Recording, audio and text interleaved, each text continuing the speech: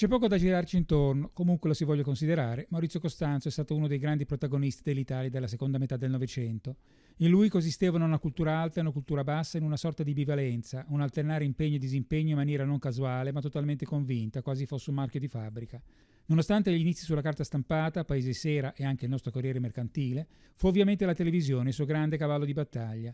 C'è un'immagine che non si può dimenticare, una finestra finta che chiudeva all'inizio e riapriva alla fine di una trasmissione, come se tutto quello che si sarebbe detto in quell'ora del lunedì sera dovesse rimanere dentro le quattro mura di una stanza immaginaria.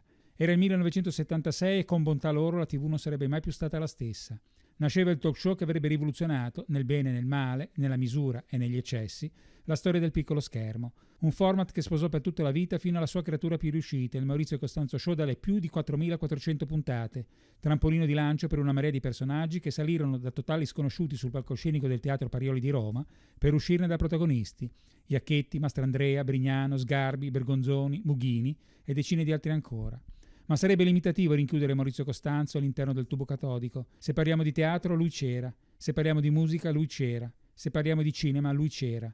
Fu autore di opere teatrali di grande successo, di canzoni che sono rimaste nella storia, come Se telefonando di Mina scritta insieme a Degno Morricone, e sceneggiatore di film come Una giornata particolare. Certo non sono mancati gli scivoloni come il coinvolgimento nella loggia massonica P2, inizialmente negato, poi finalmente ammesso, ma va anche sottolineato il suo impegno contro la mafia che lo portò a essere vittima di un attentato che fallì per un soffio. Per finire un'altra cosa che lo lega a Genova, un personaggio goffo, impacciato e straordinariamente timido, che inventò per un attore che fece esordire a quelli della domenica dopo averlo visto recitare in un cabaret.